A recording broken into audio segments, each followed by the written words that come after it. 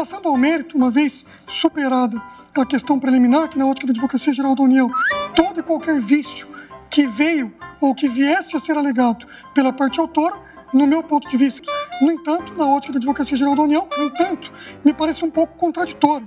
E no entendimento da Advocacia Geral da União, no meu ponto de vista, Cale-se, cale-se, cale-se, você me deixa louco! nenhum dos artigos impugnados, na nossa ótica, dispensa o cumprimento